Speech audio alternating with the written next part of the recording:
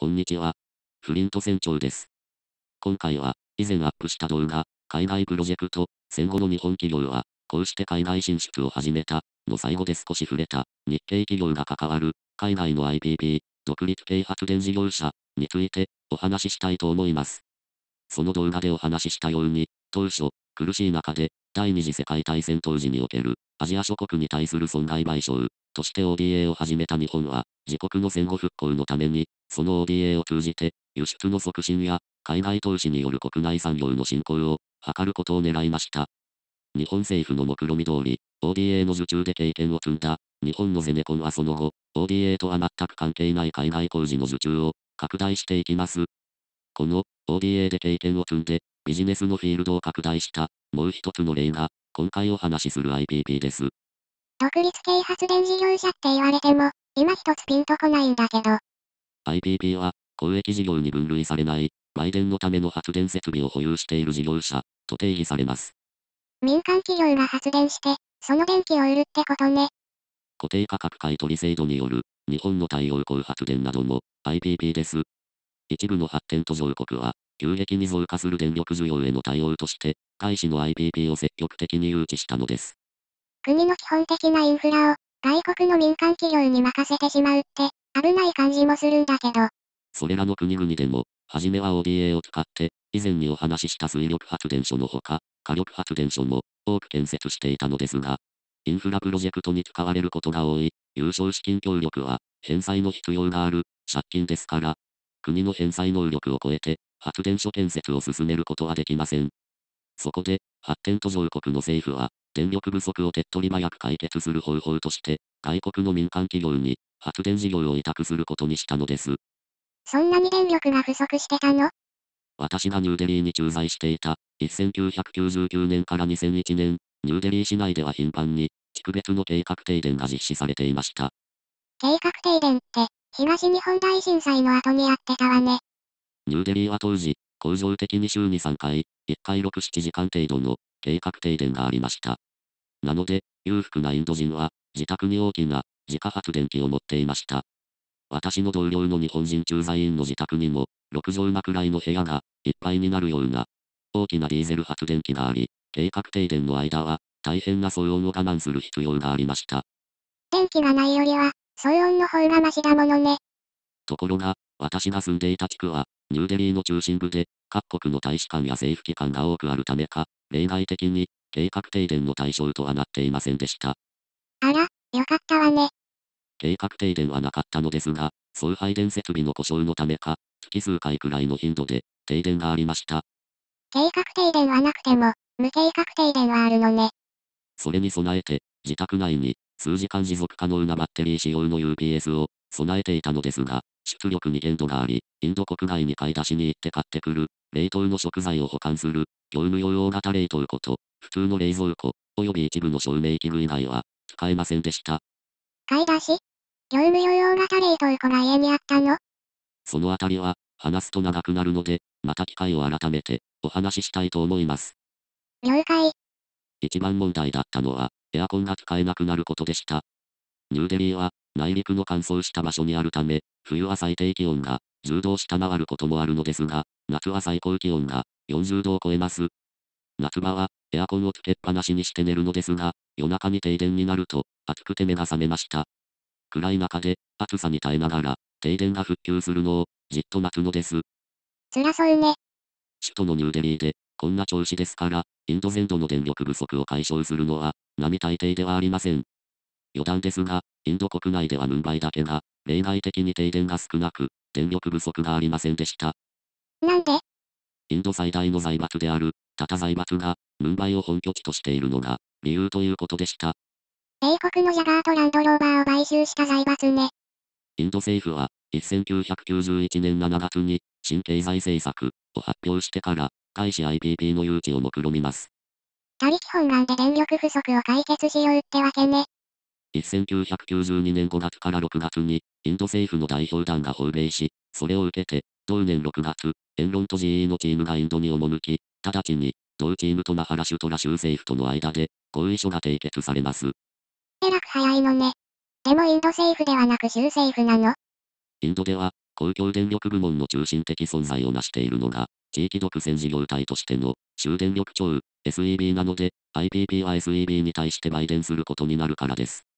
この時締結された MOU は、公開入札という手続きを経ることなく、拙速に締結されたもので、その内容は、言論に一方的に都合の良いものでした。悪党の言論が、インド側の無知につけ込んだ、と言えそうです。言論ってそんなに悪い会社なの？強欲資本主義の代名詞のような会社でした。でした？今はないの？巨額の不正経理、不正取引による粉飾決算が明るみに出て、2001年12月に破綻しました。ちなみに、言論の監査を担当していた会計事務所、アーサー・アンダーセンは、世界五大会計事務所の一つと言われた、名門会計事務所だったのですが、粉飾決算やその証拠の隠蔽に、関与していたとされて、信用を失墜し、2002年に解散を余儀なくされました。このエンロンの IPP が始まりとなり、先進国の民間企業が、続々とインドの IPP 事業に参入します。日本企業ではマルベニが、1998年に、タミルナド州の IPP、PPN パワージェネレーティングカンパニープライベートリミテッドの建設、EPC を落札し、合わせて IPP に26%出資しました。ちなみに、PPN のマジョリティは、インドの民間企業、アポロインフラストラクチャープロジェクトファイナンスカンパニーが持っています。商社が IPP を所有してるの？以前から、ODA による発電所建設に際して、充電メーカーやエンジニアリング会社が、発展途上国での、ややこしい交渉ごとから解放されるために、総合商社と組むことはよくありました。そういった経験を積んだ総合商社が IPP へと進出していったのは自然な流れでした。海外の IPP における総合商社のトップランナーは丸紅です。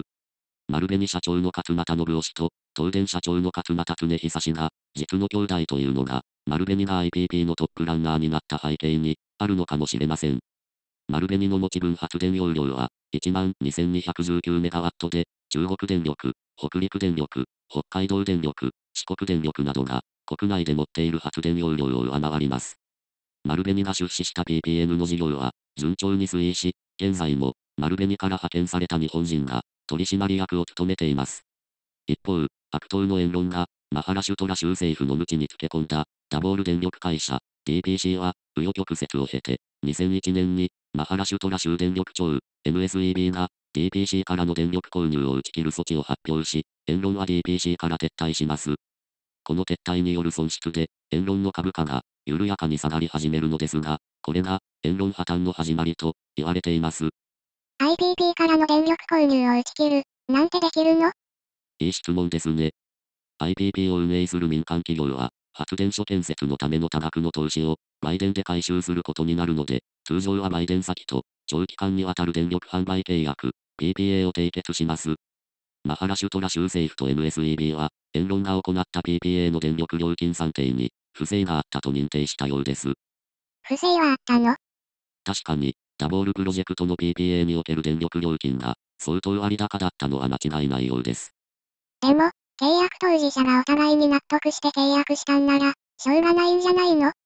ダボールプロジェクトでは、コスト積算方式が適用され、報酬率は16%と定められていたのですが、エンロンはこのコスト積算をごまかして、高い電力料金としていたのです。悪党ねー。したたかなインド人を騙し通せると考えた、エンロンが甘かったですね。それでなくても、外資がインドへ進出するのは、容易ではありません。以前アップした動画、鈴木の海外展開、鈴木のどこがすごいのか、でもお話ししましたが、インドで大成功している鈴木も、過去には、合弁相手であるインド政府を、オランダ、ハーグの国際仲裁裁判所へ、提訴したりしています。NTT ドコモは、2009年に、タタ財閥の通信会社である、タタテレサービシズ、TTSL に、約2600億円を出資するのですが、現地での競争は激しく、収益は悪化し、2014年に、インドから撤退を決定、ドコモとタタは、提携を解消することで合意します。ドコモは、出資した時に取り交わした合意文書に基づき、タタ財閥に TTSL の株式買取を要求したのですが、要求は入れられず、ドコモは、ロンドン国際仲裁裁判所に、仲裁を申し立てます。ドコモは、最終的に、出資の半額の1300億円を取り返すのに、3年を要しました。それでも1300億円の損失なのね。そんな厳しいビジネス環境のインドで、マルベには PPN を成功させるのですが、それに気を良くして、次に取り組んだ、テランガーナ州ラマグンダムの IPP では、停滞失敗をします。州政府との商談を進める中で、交換職を得た丸紅は、契約確定前に、発電所建設の準備を始めるのですが、最後の最後に、州政府の手のひら返しに遭い、準備が全て無駄になってしまいました。このプロジェクトには、電源開発と東芝も関わっていました。私は、契約確定前に先行して開設した、ラマ軍ダムのプロジェクトオフィスに常駐して、準備に当たっていた、東芝の日本人駐在員が、ニューデリーに来た時にあったのですが、まだ20代後半くらいの独身の人で、発電所建設工事が始まったら、7年くらいラマ軍ダムに駐在する予定、と言っていました。20代後半から30代前半の時期に、7年間、インドの片田舎に、常駐して過ごすというのは、ちょっと私には、耐えられなさそうですが、その人は淡々としていました。ラマ軍ダムから一番近い都会が、ハイデラバードなのですが、片道4、5時間くらいかかる上、そこまで出たところで、日本食レストランなど皆無なのです。州政府が手のひら返しをしたっていうことは、その人も気にしたのかしら？そうだと思います。よかったわね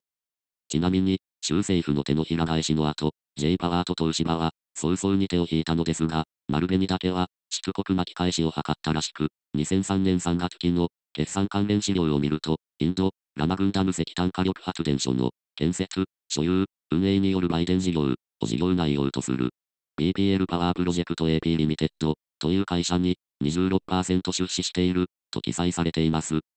さすが、総合商社はしぶといわね。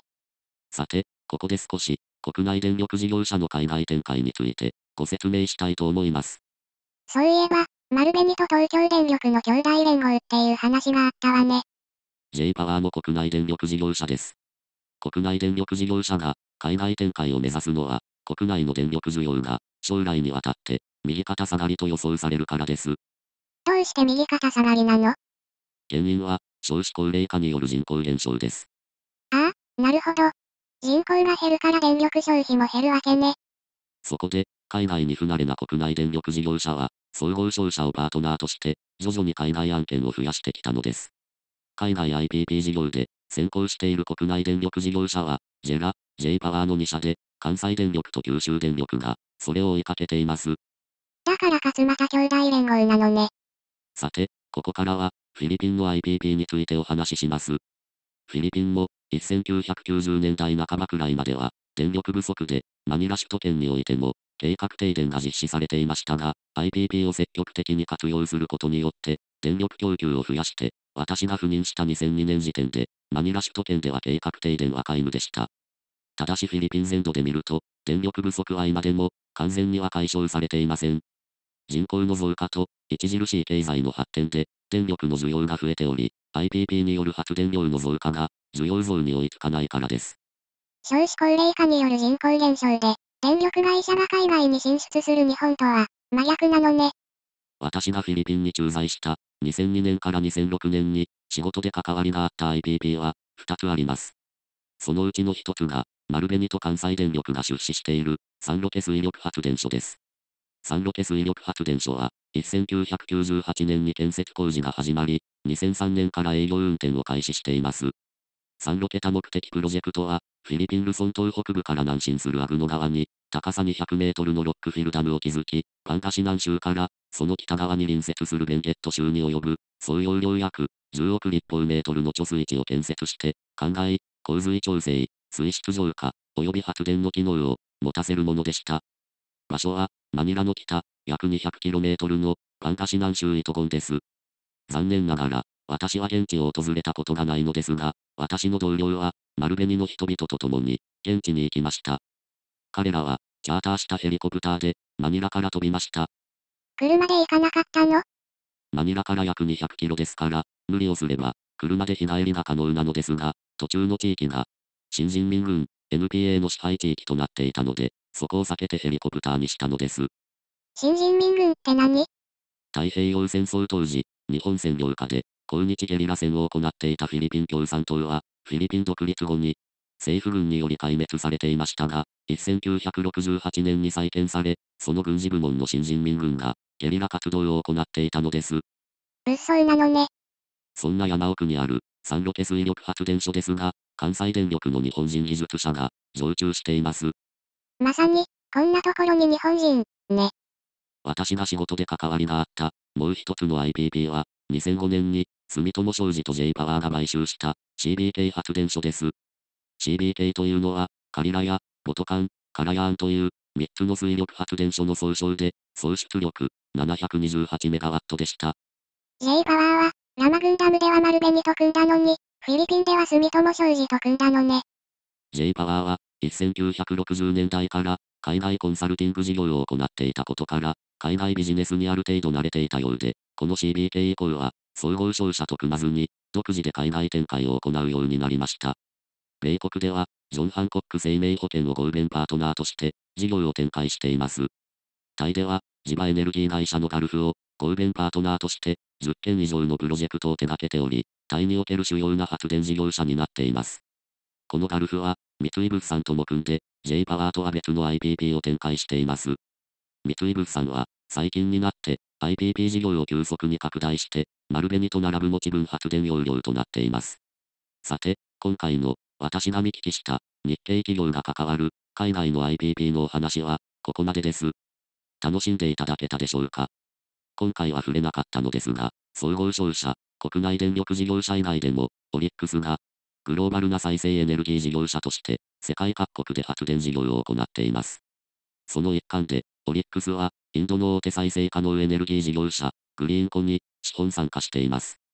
今回は、時間の関係で、インド国外に、買い出しに行って買ってくる、冷凍の食材を保管する、業務用大型冷凍庫、という部分の、詳細な説明を省略しましたが、そこについては、また機会を見て、お話ししたいと思います。それではまた。